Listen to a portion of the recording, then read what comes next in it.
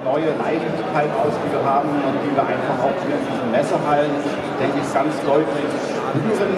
Sagt Claim lautet Brandenburg, mehr brauchst du nicht. Das gibt es hier dann in einer Bildversion auch zu sehen, zum Beispiel so gehen wir nach draußen. Und äh, da habe ich für den heutigen Tag natürlich auch die Tiny Houses ausgesucht, die wir äh, jetzt ganz frisch äh, im Land haben mit einer neuen neuen Ressort, ein Nature Resort, Lodge am See, am See bei Lenzen, auf einem ehemaligen Campingplatz mitten des Biosphärenreservates Luftlandschaft Elbe Brandenburg. Alle Infos dazu findet ihr auf raus.live.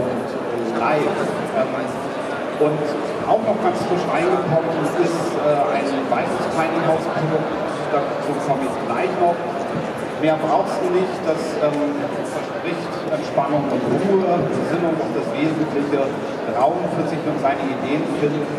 Ja, und auch ein bisschen Stolz, Stolz, den wir meinen im gesunden Sinne, nicht mit geschwollener Brust, sondern einfach, ja, mehr wie schön. Und äh, darüber sind wir sehr, sehr froh und ich denke, dass der heutige Zeitgeist das auch gut widerspiegelt ja, in der Gemeinde Färbein, da geht noch ein großes Projekt an den Start, nämlich mit 54 Hektar. Und da werden 277 Tiny Häuser entstehen und 23 Eigenheime. Das Investitionsvolumen hier beträgt 60 bis 70 Millionen Euro. Ähm, das Motto ist äh, Kreuzfahrtschiff auf dem Land. Kennen wir auch schon so ein bisschen von einer anderen großen Investition äh, Land Brandenburg die das auch schon gemacht hat unter einer großen Kuppel. genau, Tropical Islands, Kreuzfahrtschiff auf dem Land. Und ähm, Baubeginn hier ist im äh, Frühling nächsten Jahres und die Eröffnung für 27 dann vorgesehen. Ähm, die werden das Ganze auch kombinieren mit einer App. Das heißt, auch hier ist der Community-Gedanke sehr deutlich vertreten. Man kann dann in dieser App sozusagen alles managen, was rund um das Tiny House Geschehen stattfindet, nämlich äh, beispielsweise Wellness-Anwendungen oder äh, ein Schwimmnachmittag auf der Bowlingbahn oder was es eben an tollen Freizeitmöglichkeiten da noch gibt.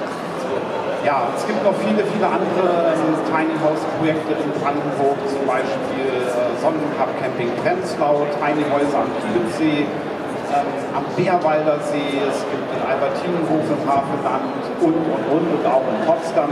Das nur mal äh, ganz kurz gesagt. Also dieses Thema scheint wirklich top aktuell zu sein und ist auch schon wahnsinnig äh, vertreten in Brandenburg. Dazu kommt eine Menge an äh, Coworking-Möglichkeiten, die wir auch haben. Äh, beispielsweise in Coconut Brandenburg, Gutshaus Kuhbüro, Sinkfarm Eberswalde, Mühle Himmelfort, Sommerfrische Lüchen, um nur einige Stichwörter zu nennen. Also auch das ist bei uns schon absolut ein Thema. Und ähm, wenn man es so sagen möchte, Brandenburg ist ein Bundesland äh, und eine Hochburg der jungen Szene. Das war ein Zitat, äh, was mir so ein bisschen in der Recherche entgegengekommen ist und wo ich gedacht habe, ja, das stimmt und das ist auch wundervoll, dass es so ist, denn wir spüren auch, der Tourismus ist im Wandel befindlich.